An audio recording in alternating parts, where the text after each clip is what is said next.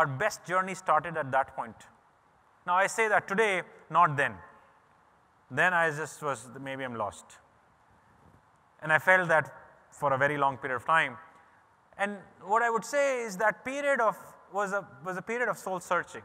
And there were a few things that we were trying to, to soul search. I think one, what are we doing?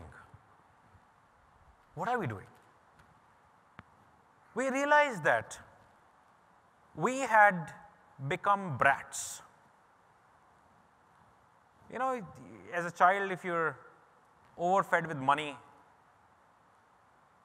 abundance and abundance of it, what do you do? Whatever you want to do.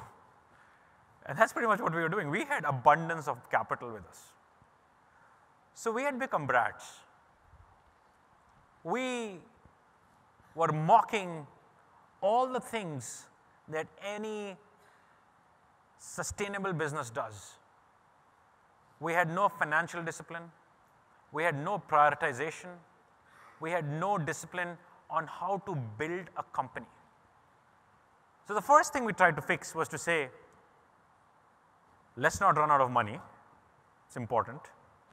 And let's try to make sure that we get these principles in place on day one.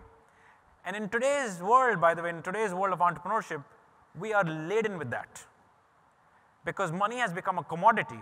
If you have a half decent idea and you want $100, you'll get 500.